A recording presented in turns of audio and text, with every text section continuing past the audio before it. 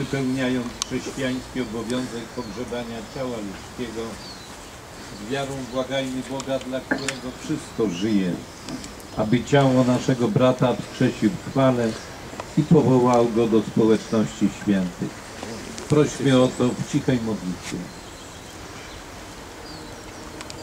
Nasz Pan Jezus Chrystus powiedział, ja jestem zmartwychwstanie i życie. Kto wierzy we mnie, nie umrze na wieki. Ożywieni tą wiarą módlmy się wspólnie do Zbawiciela za naszego brata Alojzego.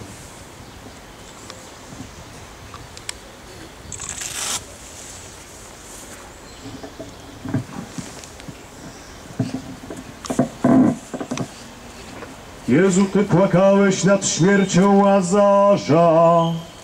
Pociesz tych, którzy płaczą nad śmiercią Alojzego.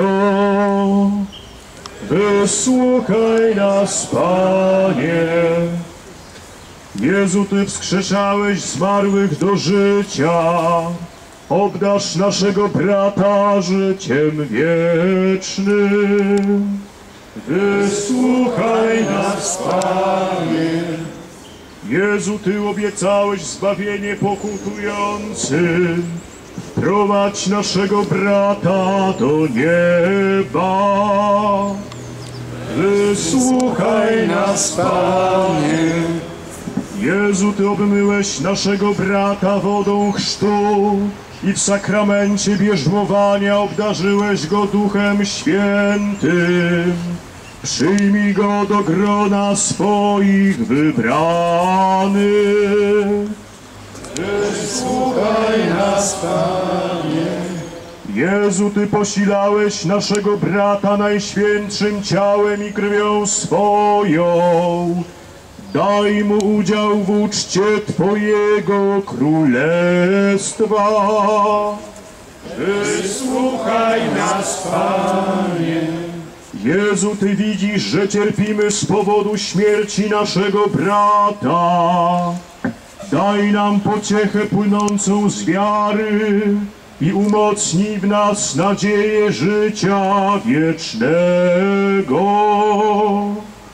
Wysłuchaj nas, Panie.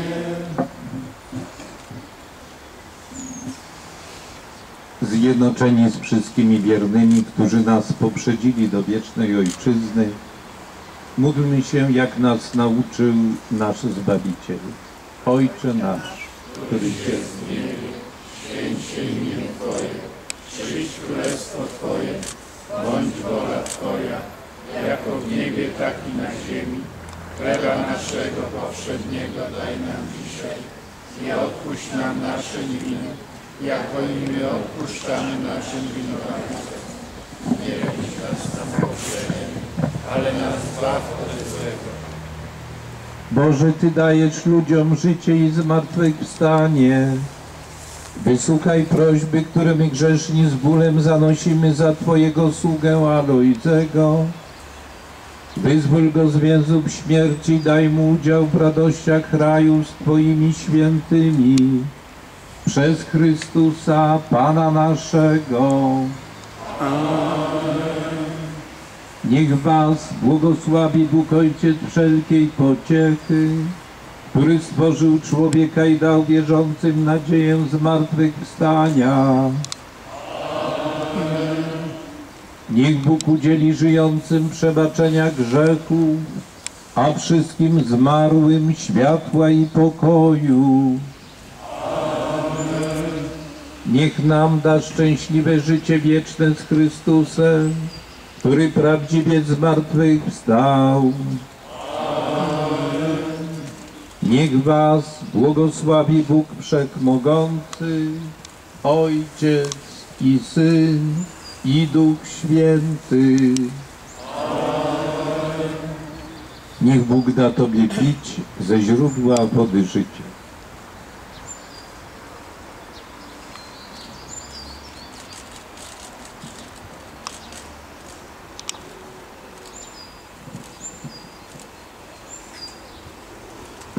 grochem jesteś i w proch się obrócisz, ale Pan Cię skrzesi w dniu ostatecznym. Żyj w pokoju.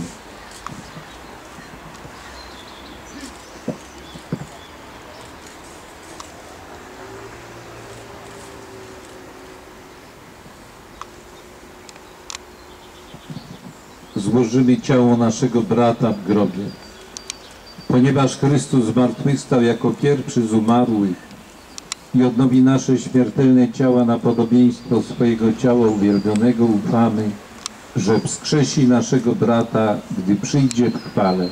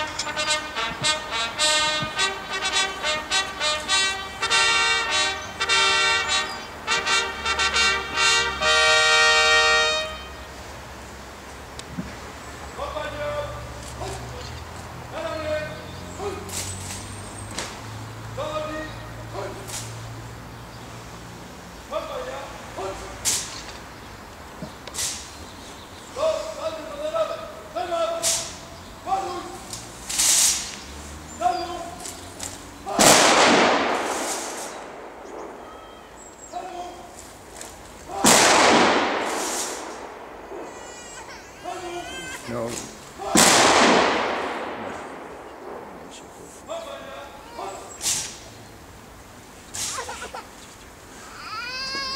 W imieniu rodziny chciałbym podziękować wszystkim, którzy towarzyszą mojemu ojcu w jego ostatniej ziemskiej drodze.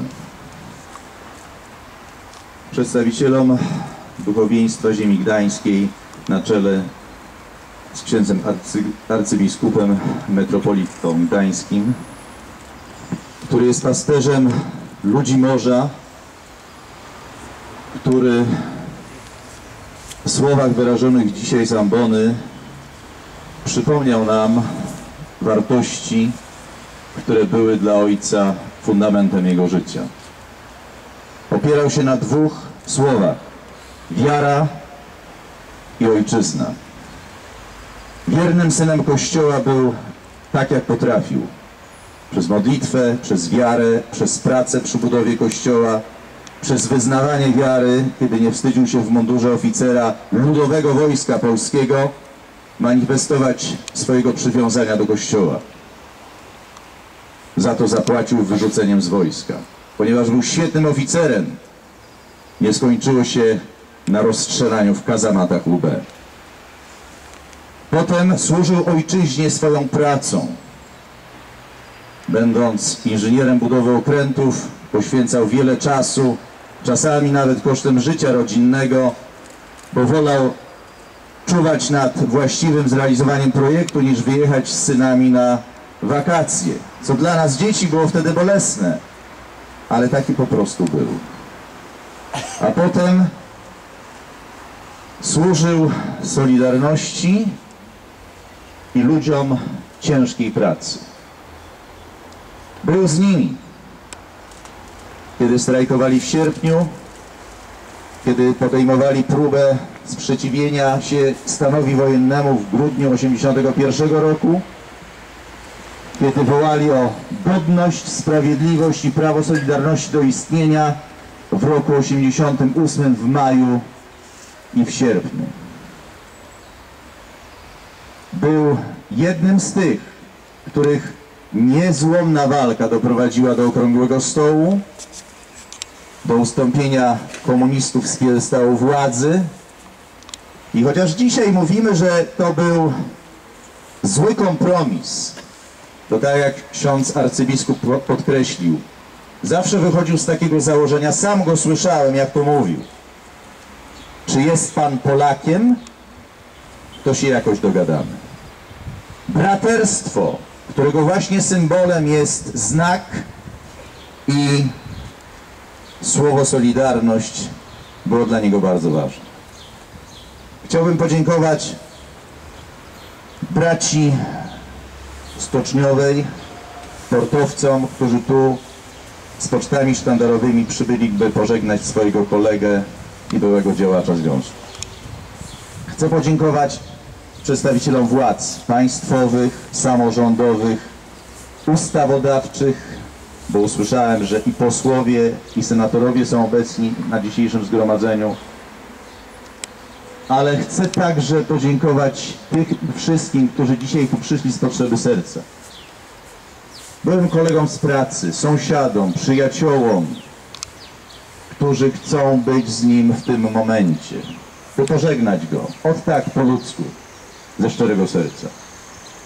Chciałbym, żeby to nasze dzisiejsze zgromadzenie nie tylko zakończyło się złożeniem do grobu doczesnych szczątków mojego ojca i pokrycie tego grobu ziemią, kwiatami, ale byśmy zapamiętali wartości, dla których walczył całe życie, długie swoje życie. Pan Bóg kazał mu dźwigać ten krzyż przez prawie 92 lata.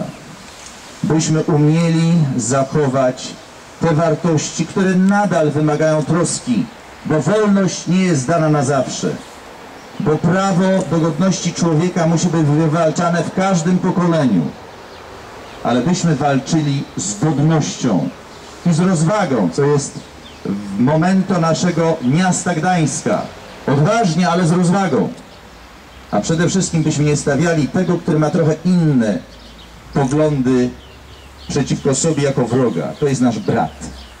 Polak, chrześcijanin, człowiek. Zachowajmy w sercach pamięć o Ojcu, respektując wartości, dla których żył do ostatnich swych dni. Dziękuję bardzo.